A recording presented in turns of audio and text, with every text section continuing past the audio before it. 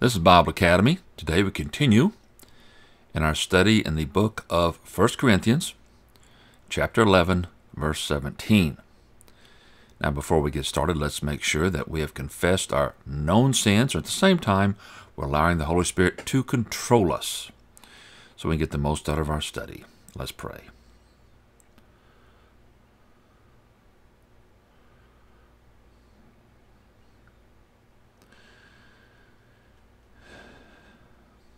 Well, Heavenly Father, we thank you again for this opportunity and the time and the privilege and everything you provided so we can study your word. We ask that our hearts and minds be open and ready to receive it. In Jesus' name, amen. We continue in 1 Corinthians chapter 11. Let me show you our outline where we are on this. We begin another section D under 4 abuse of the Lord's Supper. 11 17 through 34 now this is a uh, rather long lesson. I'm going to try to get through it one session but I may not. I really want to keep the continuity on this but if it's not possible to make it within a reasonable time I won't. So that's kind of a warning. So I may move kind of fast through this just to get through material at the same time. I want to make sure it's clear and uh, not too fast. Let's begin with an introduction. In verses 17 through 34, Paul returns to the subject of the Lord's Supper. He rebukes them for their conduct during this sacred ritual. Now, apparently, there was a fellowship meal either during or after it. Now, this is the time of Paul. Participants in this case, when this on this occasion uh, that this letter refers to were not properly prepared and they were conducting themselves irresponsibly. Now, there's a lot of application here because this goes on, I think, quite often.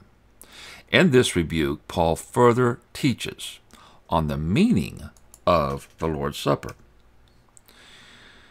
You may recall back in verse 2, Paul had commended the Corinthians for doing some things right now he goes to what they are doing wrong. He's not commending them, and he makes that point. Pretty strong one, verse 17. But in giving this instruction, I do not praise you, because you come together not for the better, but for the worse. Now, this instruction that he's giving is this present instruction on the Lord's Supper and some related issues. Their assembling together were doing more harm than good, more tearing down than building up. Verse 18 begins to explain some ways they're doing harm. For, in the first place, when you come together as a church, I hear that divisions exist among you, and in part I believe it. For, in the first place, here's the first problem he's going to tackle when you come together as a church. That's a situation when they are fully assembled. Paul writes, I hear that divisions. Now, understand this. This is not doctrinal divisions, differences over beliefs, but, or, or rather, I should also add to that false teachings or even heretical teachings. But it's divisions over social status between the rich and the poor, the haves and the have nots, um, and those in between. People at the assembly came from all walks of life and all levels of social status and income. And they meet together as a church. But this has led to a lot of unnecessary and uncalled for divisions. They're dividing over their social status. That's just a word to cover all these differences. Church unity was lacking. You might say they had their cliques, but these were strong cliques. By that I mean they don't go outside their cliques very much. Perhaps they look down on others, or they look up to some and say, uh, You're just a hooty tooty or something like that. You think you're better than everybody, and others will think, No, you're just worse. And that's not good. Here's the point rather than being united as a church body when they assembled, they were divided over social status. Verse 19 makes it more interesting. Paul further explains these divisions, but they're not exactly what it sounds like at first. For there must also be factions among you in order that those who are approved may have become evident among you. Notice what he says, for there must also be factions. Now, factions cannot be exactly equivalent to divisions because divisions is bad.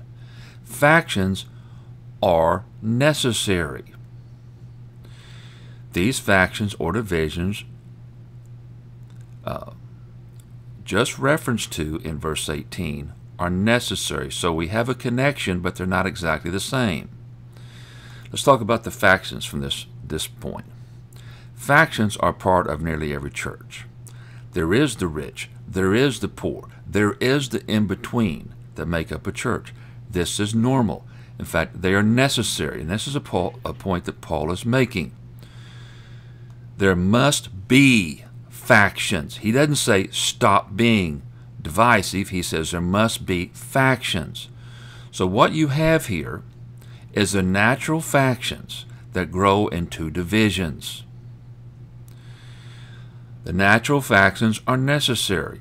This is the design for a Christian assembly. Why? In order that those who are approved. Now let's talk about that phrase for a minute. Those who are approved are those who properly conduct themselves among other Christians of different social status. How do you treat the real poor? Let's say dirt poor, the bum type person off the street, hardly any good clothes, doesn't eat well, doesn't appear very good, might even have a certain odor. And then you have the other extreme who wouldn't go near them. So this is a test among all the Christians to see who are passing, that is, treating each other out of love, consideration, and respect, and who is not. So, out of legitimate factions of social status and differences grew illegitimate divisions, with discrimination creating divisions. Now you see the connection. It's not wrong to have factions, but it's wrong to create divisions over them. That's an important point to recognize. In fact, it affects the whole interpretation of this passage, at least this section of uh, verses. Factions over social divisions bring to the surface our attitudes towards each other. They bring out our prejudices and challenge us to make those adjustments in our lives. Genuine adjustments, not pretending to love them and then cut out and then uh, behind their backs when they leave you run them down. That's not that's not the right thing to do. Or when you get away from church, you say, you know those people, and then you go on about them. That's called hypocrisy. Factions among us shows who we are. Now that's just not in a uh, formal church setting, but in your everyday life, whoever you're around. But church brings all of these together, you see, at least an assembly when they could have assemblies where there was enough positive people wanting the Word and worship the God of the Bible, they could come together from all walks of life. Today, often churches are divided over similar social statuses. Uh, and that's if that's not necessarily the case for, especially when you talk about a locale. Yes, if you live in a, a good area of town where most people make pretty good money, you're liable to have mostly well-to-do, or at least better-to-do Christians than you would poor. Now, I myself, I lived in a I live in a mixed neighborhood, uh, just a block away, or probably the more poor. But within my neighborhood, it's it's just it's above that level, but it's certainly not what I'd call rich. Okay, so I know what it is to be among these different people at different times, and uh, yes, those who are uh, look better, who who take care of themselves, take care of the yards. Those, to me, uh, are, are really taking care of themselves and taking care of themselves, and that shows a sign of respect and responsibility. There are some, though, who may be poor be just as clean as they can be and respectable as they can be. Don't misunderstand. It's not because their social status. It's basically because, well, they're slobs. They don't want to work. And that can happen at all levels. The problem is you don't usually get in a good middle class neighborhood by not wanting to work. Of course, the government giveaway programs are making that possible, but uh, I think you get my point. Here, those who make an issue out of one's social status fail the test. They're not approved. So this is a check on our Christian behavior. With that said, Paul applies this towards what is happening at the Lord's Supper among the Corinthians. And of all places, they should so, show unity and love, uh, cooperation, is at the Lord's Supper because of what it symbolizes. You wouldn't only be a hypocrite, you'd be a super hypocrite. And Paul kind of makes that point, and you'll, you'll see in a moment. Verse 20 shows that their factions have negated the purpose of the Lord's Supper. This is what I just meant. Their factions have negated a purpose of the Lord's Supper. Verse 20 reads Now, when you come together at the same place, it is not to eat the Lord's Supper. Now, right away, they'd probably react to that. Then what are we doing? Right? So, to put it another way, when they gather for the Lord's Supper, that is not what they're doing. And that makes the point. That's the way Paul opens up this, opens this up. If you remember back in 1 Corinthians 10:16, we saw Paul talk about the symbolism of the elements of the Lord's Supper, where there's a sharing of the blood of Christ and a sharing of the cup. And this sharing is not only with Christ, but also with other believers, demonstrating a unity among them. So it's a sacred ritual, a communion table. I usually call it the communion table, but you'll hear me in this lesson uh, call it the Lord's Supper. Uh, I don't I don't want to mix terms, but sometimes you keep saying communion, you think there's going to be a good sharing, and there's not. So I'm just going to call it the Lord's Supper. And that is that ritual that Jesus began um, on the evening before his arrest and crucifixion. But it's a sacred ritual where we, share, where we share the fellowship with Christ and with each other. With each other. But this is not what's going on among the Corinthians. In fact, their conduct is nullifying a major part of the Lord's Supper. So it end up it ends up becoming because of the hypocrisy and the playing games and the mistreatment, though they go through the ritual movements, eat the bread, drink the cup, it's empty because they've voided it of its meaning. So when Paul says, verse 20 again, now when you come together to the same place, it is not to eat the Lord's Supper. So they're not doing what they were supposed to come to. It's not the Lord's Supper. It's not like the Lord's Supper what they're doing, and explains this in two ways. Two ways they're negating it. Verse 21 For in your eating, each one takes his own meal first, and one is hungry, another is drunk. Now, this may seem a little confusing to you because, on one hand, we're talking about the Lord's Supper, and we're all talking about eating a meal. And they were separate events and not the same events, but they could be at the same time, but they were certainly distinct. Here's some background. And it appears that the church has a regular fellowship meal as a church, which is fine. That's a good thing for churches. I have no problem with that. I've participated in them, uh, especially by the eating part. And uh, you also have a communion. Now, the communion may have taken place during it. I doubt that. I think most people would prefer to take the ritual elements afterward, after it, okay? Maybe some before. it. I don't know. I just there's no law and there's there's no strict rule. Uh, it gets a little confusing. You want to confuse. Uh, you want to want to add them together, but we'll sort this out a bit as we move on. But it was during these meals. This is the fellowship meal. That's, I'm going to distinguish it between that and the Lord's Supper. It was during this fellowship meal that these prejudices surf, surfaced. He goes on to say, For in your eating, each one takes his own meal first. And that's just what it says. So when they have their fellowship meal, they're not even eating together. You ever been at one of those dinners where you're supposed to eat together as a fellowship, and some people get there early and some people get there late, and the people who got there early already done eating and put up their plates and sitting there, and the other ones just now come in? Well, this is something like that. It almost sounds like a first come, first serve basis. I'm not sure how that was, but the point is there are some who are not waiting and some not even getting food. So Paul goes on to describe, me put the scripture back up there, and one is hungry. Some of you get hungry. So they don't get there in time, or they don't get to the food in time, or they don't get to have the food in time, but they don't get to eat. And the point is they get little or no food. Then the last one may surprise you, and another's drunk.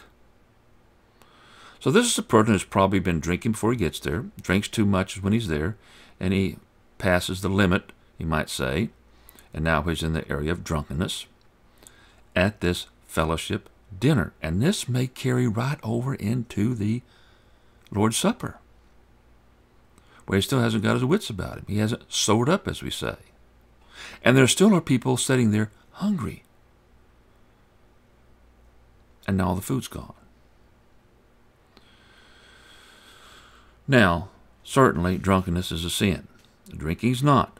And they did drink uh, alcohol, alcoholic wine. In those days, it was typical. Jews would do it too. Jesus would do it too. But they wouldn't imbibe to the point where they got drunk, especially those Christians who wanted to stay in Lord's will. Of course, Jesus would never been drunk. But the point is, if you drink too much wine, you can get too inebriated or get inebriated. Simply put, when it comes down to it, these people are not treating each other right and uh, misbehaving. This shows there's no consideration and certainly no unity. And as you recall, that is a fundamental manifestation of the Lord's Supper. So then, in come the divisions.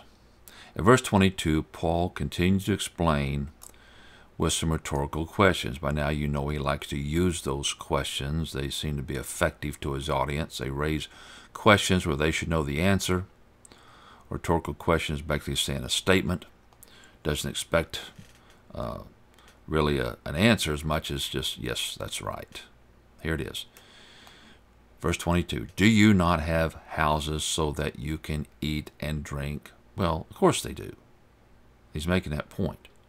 Or do you despise the church of God and shame those who have nothing? Well, unfortunately, that's what some of them are doing. What shall I say to you? Shall I praise you? And this I will not praise you. He begins by saying, Do you not have houses so that you can eat and drink? As I said, of course they do. Then why are they being this way? The next rhetorical question is a two parter. Or do you despise the church of God? Now, that's a pretty strong rebuke. Despise here means to think little of or think nothing of, to look down on, treat with contempt, even scorn. Think of what the poor and hungry thought, who didn't get to eat, who knew that unity was important. Here's an opportunity for them finally to get a good meal, and they get there and the food's gone. Maybe the people who had food and, and uh, knew it was a good idea, they got there really early, perhaps started early. I remember one time we, as a family, were going to go to a, we were on vacation and part of our vacation, it began with going to an, uh, a place up in California where you can go out to an island, but you had to catch the boat. And we got there on time. But just as we pulled up into the parking lot, the ship had pulled away. So they left early, which didn't take make us very happy because we had driven there. I don't know how long, it was probably two or three hours just to get to this place, and they'd already left because they decided to leave early. Well, see, this type, type of thing that's happening here at this dinner, they're leaving early. They're eating early, or without everybody getting there. And there's no reason to think that couldn't have been Percival. Uh, excuse me, uh, couldn't have been uh, purposeful. I'm trying to say two words at once. Sometimes that happens. So think of what the poor and hungry thought. Think of what those who see the drunks thought. He goes on to say, and shame those who have nothing. All that contempt and shameful behavior, the thinking that comes from that carries over into the communion, or rather the Lord's Supper. Paul says, What shall I say to you? I'll think about it. what can he say? Shall I praise you? Paul's answered his own question, In this I will not praise you. So, what the Corinthians are doing is far from commendable. In fact, it is destructive to a church, especially its unified purpose. And the church is to be unified not even not during the communion, all the time. And then there are some who are in such condition they can't even focus on the communion or the Lord's Supper. Some are probably thinking how hungry they are, maybe resentful of those who got there early and ate, no food left. And then there's the drunks who are not thinking clearly at all. So the unity is missing. The love is missing. The consideration is missing. A lot of people don't think of it this way. When you get drunk in front of people and you have a, and you misbehave and you talk a certain way or you try you crack the dirty jokes whatever, uh, that makes a lot of people uncomfortable. Oh yeah, you may be having a ball. But a lot of people want you to get away or they want to get away, unless they're doing it too. Then who cares? You see. Well, hopefully you haven't experienced that. In verses 23 and 24, Paul begins to discuss in detail the Lord's Supper then exhorts them to do it worthily, closing with judgment for those who do not. So some pretty heavy terminology here. In verse 23, Paul begins to describe what Jesus did at the first Lord's Supper to show how their behavior is disgraceful. So he's going to use Jesus as the example or the model at the same time teach from what Jesus was saying. Verse 23, Paul writes, For I received from the Lord what I also passed on to you. The Lord Jesus, on the night he was betrayed, took bread. Now let's just stop there. The word for begins to explain why they are disgraceful and shameful as he explains the supper. He says, I received from the Lord what I also passed on to you. Paul is giving them the tradition, the way it is supposed to be. Did Paul receive this uh, from divine revelation? Or is he referring to an account from others on what Jesus did that evening?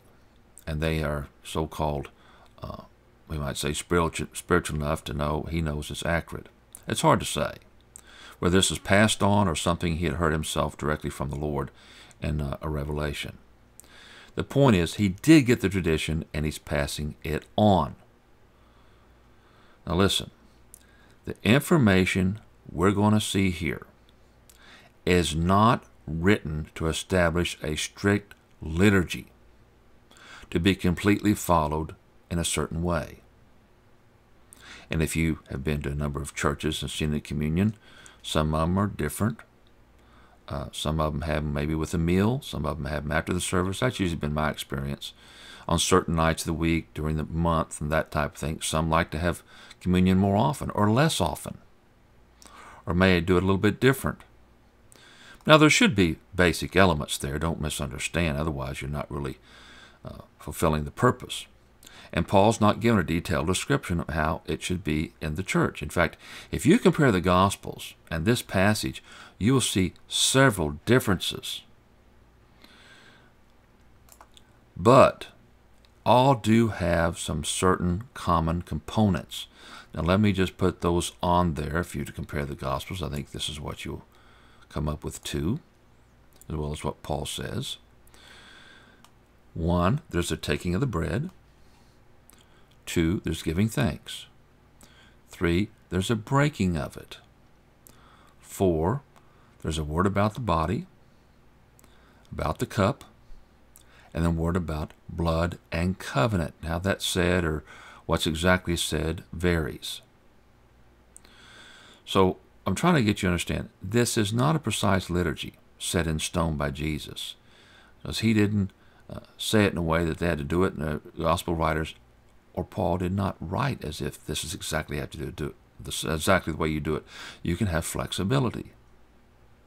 After all, most people uh, don't have wine, as far as I know. They use some sort of grape juice. Uh, and a lot of people don't use bread. They use little those little crackers. Okay. Uh, uh, when we have it, we have it actually with uh, bread. You know, like you'd buy in the store, loaf of bread, and break that up. That's the way we do it. But all elements, these elements, should be in the sharing of fellowship, and it should be unified. Now, that's part of it too the fellowship and unified.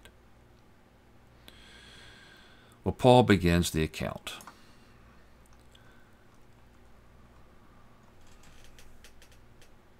By that I mean he begins to say what Jesus did. Here we go. The Lord Jesus, on the night he was betrayed, took bread. Paul points out that Jesus was also betrayed that same night, which adds a further solemnity to this event. It tells us more what went on besides just this supper that evening. Now, this is such a contrast to what the Corinthians are doing. They can't even hardly start the Lord's Supper without coming with bad attitudes. So it's already messed up. Now, another thing. Remember, this first ritual was either after a meal or during it. So the next question is if this was during the Passover meal, now this was the evening of the Passover, it seems that it is, though not all scholars agree, by the way, but whether it was the Passover meal or not, and I think it was. There is symbolism related to that also, that is the Passover meal. Uh, there's some connection, like the body of Jesus as the Passover lamb, that hasn't happened yet. But now we know that the bread represents his body. But when they did this, it was the regular Passover. But during the Passover, they part of the drinking and the uh, the uh, you might say, celebration of the Passover, recalling it, what happened uh, when they were released from Egypt, is drinking of cups. And they had four cups during this meal. Some, some interval they would drink a cup. I'm not sure if they would drink the whole thing or a big sip or whatever.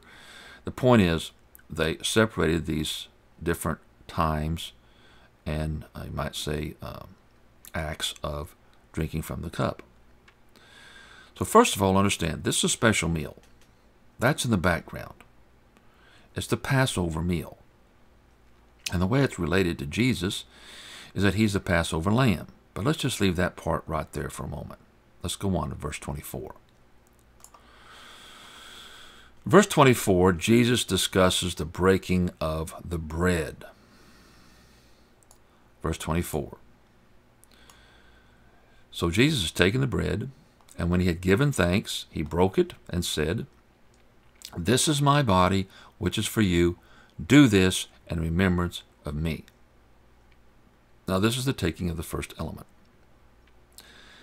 The Lord begins by giving thanks and breaking the bread. And he says, This is my body, which is for you.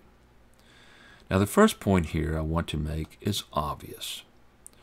When Jesus says, This is my body, it was not his real physical body. He was sitting there. Neither does it become Christ's body and blood, as the Roman Catholics claim at their consecration. I don't know if you knew that or not, but they actually claim that when you eat the bread, that you're eating the body and blood of Christ. Yes, they do. That's called transubstanti- transubstantiation. Let me try that again.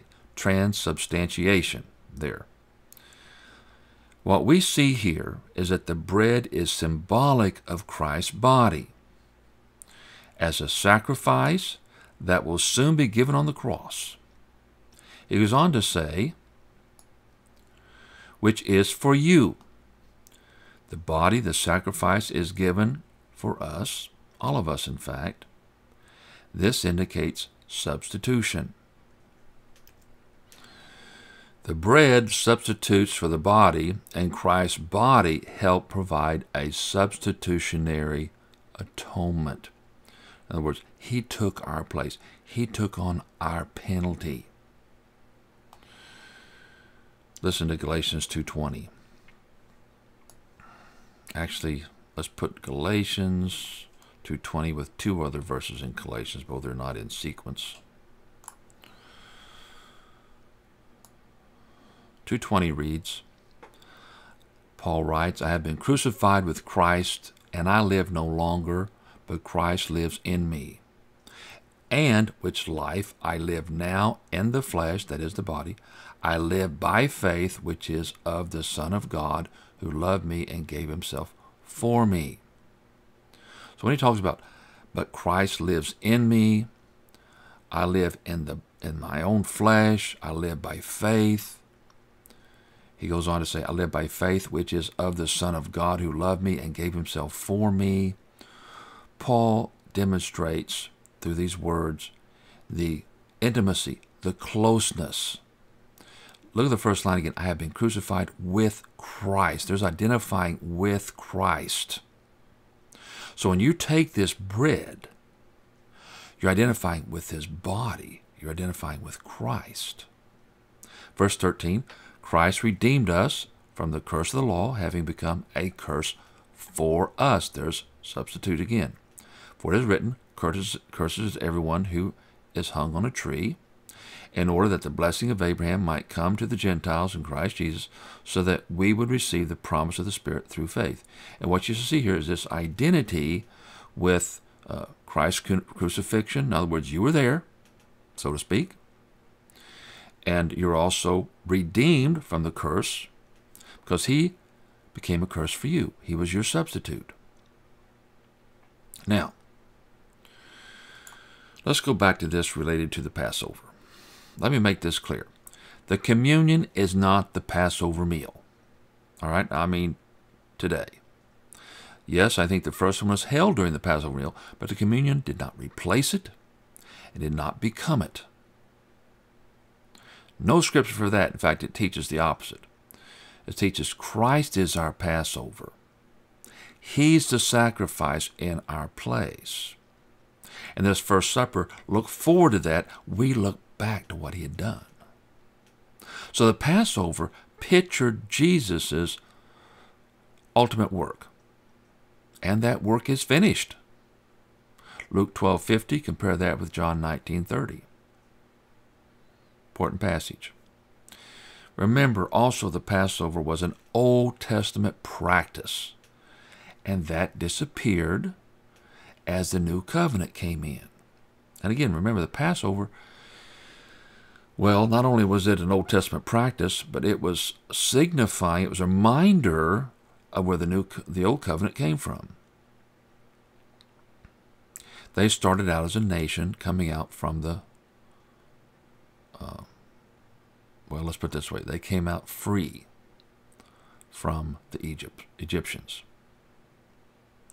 So it points back to when that Passover, when that uh, death angel passed through while they were inside eating the meal with the blood on their doorpost, being safe. And they look back to that as a big event in the history of Israel. But now Jesus, now this is what makes it interesting he introduces this cup during the Passover meal, which to me it shows a transition. And then we move into just the cup without the Passover meal as history progresses. Verse 24, let me continue with that verse. Finally, he says, Do this in remembrance of me.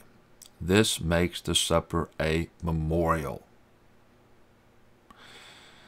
The supper is recalling a reflective time and we remember what Jesus did on our behalf.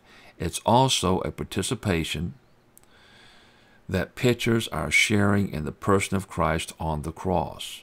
It looks back to what he had accomplished. And when we partake of the bread and cup, we demonstrate in a real experience the sharing of our faith with others who make the same confession. We have a united confession with the work and the, our Lord Himself in our fellowship with Him and each other. We confess His work on our behalf.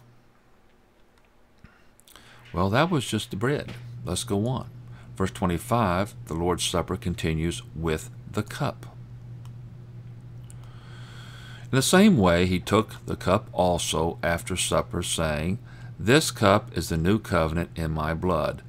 Do this as often as you drink it in remembrance of me. So it begins in the same way he took the cup also. And I inserted he took because it's not in the Greek, but it's implied. It also says after supper. So Paul takes the cup after the supper. Luke says after they had eaten. This is in 22:20. Luke 22:20. So after the meal is when they took the cup. So, the fact that it was after the meal, that actually coincides with the traditional Passover meal which formerly took four cups. This would have been the third cup, what they call the cup of blessing, which concluded the main meal. The bread would have come with the main meal after the second cup. So, from all appearances, it appears that this is this is coordinated with the actual Passover meal. But you see, since the Passover meal is gone, it's not that we can't have a fellowship meal today. Don't misunderstand. But that's not the Passover meal. Because we don't celebrate the Passover in that way. That's Old Covenant stuff. Jesus goes on to say, This cup is the new covenant in my blood. This is full of meaning. The new covenant is what we live under now rather than the old covenant. I've talked about that many times on many series. That's the old Mosaic covenant or the law. The new covenant was predicted in the Old Testament, Jeremiah 31, 31 through 34. Also talks about it in the he- in Hebrews 8 through 10. Which one of the main passages about the new covenant explains some of the differences between the old and the new. Now, of course, one of the main elements of the new covenant today is the indwelling Holy Spirit. That's one of the main parts of the new covenant. And what's going on here? When Jesus does this uh, special recognition, what we call the Lord's Supper, the change between covenants is beginning to take place. The cup anticipates the actual inauguration of the covenant with the blood of Christ. Now, let me talk about this. I've used the word inauguration as uh, I think actually referring to it as the communion table. But let me let me tell you how these tie together. So here's Jesus talking about the new covenant and his blood. It says, This cup is the new covenant in my blood. The content of the cup represented, uh, which would be wine, represented the blood of Christ. The blood of Christ represented his death on the cross. So we, the, uh, the cup is a metonymy for the content, which is the wine, which represented the blood of Christ. So we have these different uh, things going on at the same time. So we have the cup, actually the content representing the blood, which represents the work of Christ, including his death on the cross. And this is a foundational principle to the new covenant. All right? What I mean by that is the blood of Christ is a foundational principle to the new covenant. So you see a transition The work of Christ had to happen in order to bring in the new covenant, called a better covenant, which provides a new way of life for the believer. Hebrews 8 6, important passage. So, what we have here, when I call it the inauguration, I kind of wrapped them together in the past, though I didn't really think about it that much. But really, Jesus recognizes at the supper what's going to happen the next day. So you might say he's starting to, you've seen him break those champagne bottles over the front of the ship, and that hits it, and the ship is finally released down to the water. This is kind of like he's getting the he's getting the bottle ready to take the whack, and then he hits it, which would be parallel to Christ's death on the cross. So I I've been picturing, I guess I still do, is all one inauguration, but uh, and they were just you know less than what maybe uh, let's see depending exactly when this was, but it was probably around 12 hours apart. So I use the word inauguration. That's my idea. Then again, we have this final phrase. I'll just read it this time. Do this as often as you drink it in remembrance of me. So here's the point about the cup. I'll put it on there on the board. The cup represents the new covenant actually inaugurated by the work of Christ. Verse 26. Verse 26 explains the significance of the supper. For whenever you eat this bread and drink this cup, you proclaim the Lord's death until he comes. Eating the supper is a proclamation of the Lord's death. It is a visible practice that testifies to the death of Christ. Taking the elements look back to his death as we reflect on the meaning of the elements. The breaking of the bread and drinking the cup. We are to do it at regular intervals. He says, whenever you eat, as be expected.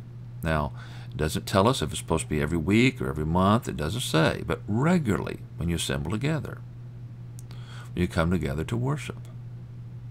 And it's be done until his return. So, this taking of the cup, this ritual, also anticipates the future. And when Jesus comes back, we don't do it again. We don't do it anymore. So it's clearly a ritual, ritual to be continued up till the second advent of Christ. Then the reality is here. Now, verse 27 shifts to a warning of what happens to a person who partakes of the supper unworthily. Verse 27 reads, Therefore, whoever eats the bread or drinks the cup of the Lord in an unworthy manner, he shall be, guilty of the body and blood of the, of the Lord. Therefore means we're coming to a conclusion and an application. It begins, Whoever eats the bread or drinks the cup of the Lord in an unworthy manner, that is, the improper attitude, and conduct. Now, this means to not take the supper seriously, with a heart not focused, or as the Corinthians, selfish. Uh, selfish in attitude and conduct towards others. They were not fulfilling the basic requirements and purpose of the supper, that is, to reflect upon the personal work of Christ.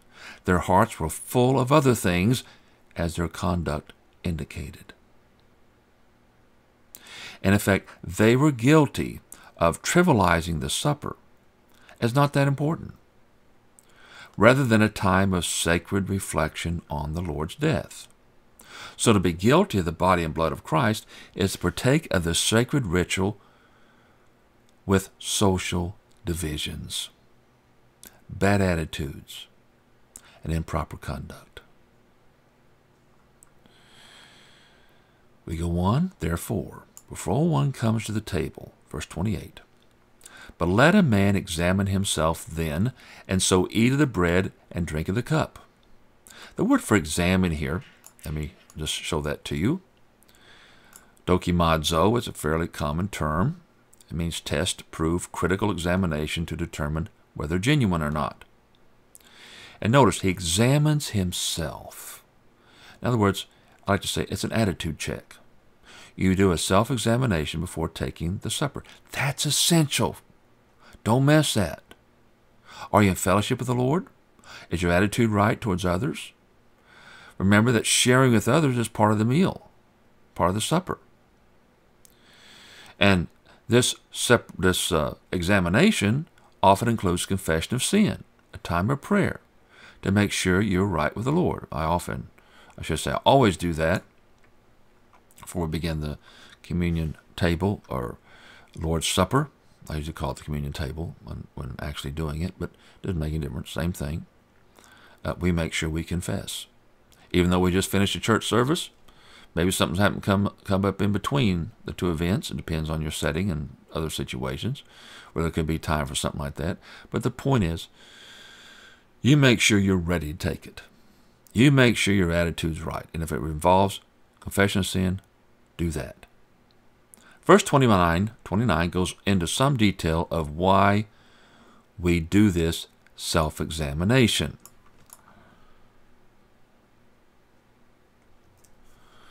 Verse 29 For anyone who drinks, eats, and drinks without discerning the body, eats and drinks judgment on himself.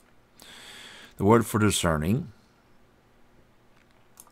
let me put that up there. There's another key word diakrino, sort out and think through. All right, that's the idea. Now, what are they thinking through here? What this means. First word, discerning the body. Discerning the body. Now, notice he just uses the term body. Now, this is an elliptical term. By that I mean it's a concise term that's including both the bread and the cup. Uh, we might use the term uh, uh, without discerning what's going on during the Lord's Supper, something like that. We can extend it, you see. But the body actually represents the whole act of the Lord's Supper, both elements, what you're supposed to be doing. Because of his lack of seriousness of the supper and the importance of having the right attitude, he, notice, eats and drinks judgment on himself. He brings on himself divine discipline. God will punish his child for not properly recognizing the sacred time of remembering his son's sacrifice on the cross. Verse 30 gives the results results of some of the divine discipline. That is why many of you are weak and ill, and some have died. There's actually a progression here. Being weak, some sort of disease, you're limited in your activity, you're sluggish, you're very tired. The next level is you're really sick. It's like having to stay in bed. Physically destructive. You are falling apart. Then last one have died actual physical death. Now, it's interesting, this word for death is something we find in the Bible, especially referring to Christians. Uh, the word is koimao. Koimao. Uh, K O I M A O. It actually means fall asleep.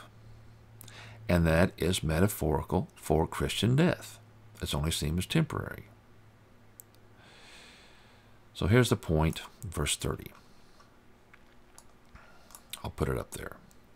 The reason many are weak, very sick, and have died is because they did not partake of the Lord's Supper of a or of worthy manner.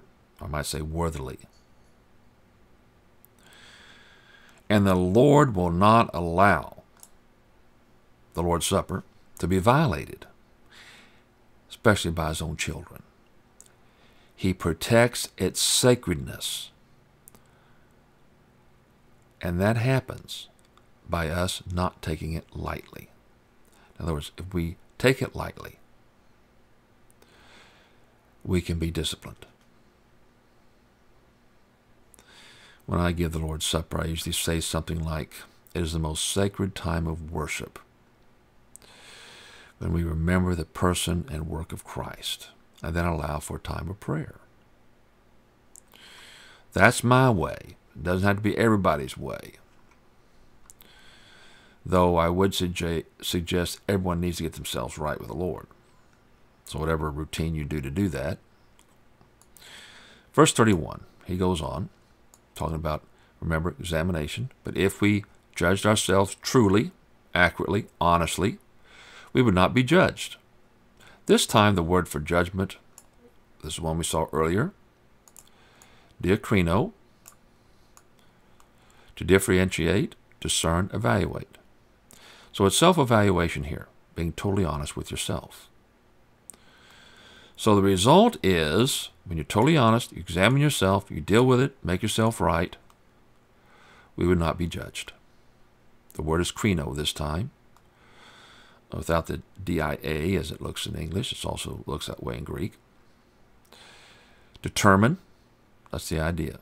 It's a similar word to judge. So, and you'll have some of your translations. I put it up here because uh, you're basically kind of saying the same thing here, though they're different words. Uh, judge for both of them is fine. But if we judged ourselves truly, we would not be judged. Point is, if we self evaluate ourselves honestly, make the necessary corrections, we will not be judged. We won't be disciplined. So, verse 32 gives us God's preventive measure. But when we are judged by the Lord, we are disciplined so that we may not be condemned along with the world. Now, the preventive measure is to make sure you're not condemned with the rest of the world. First, note the words disciplined and condemned.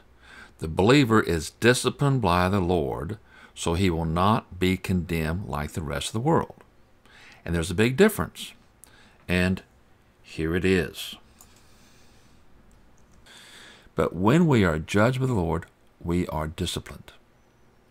As Christians, you are disciplined. Now, the word discipline includes the idea of instruction.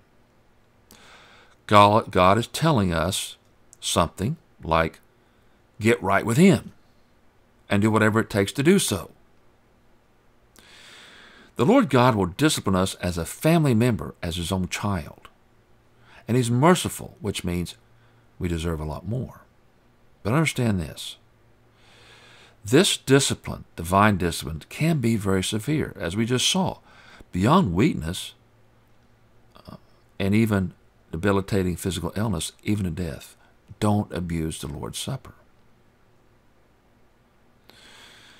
However, if the Lord did not do this, He did not discipline you, we may fall back completely into the world, get away from the Lord, even apostatize, and be condemned.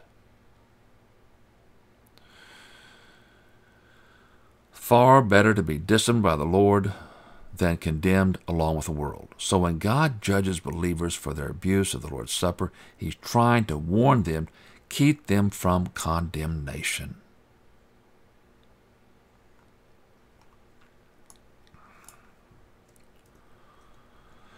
Verses 33 through 34 closes with some corrective instruction.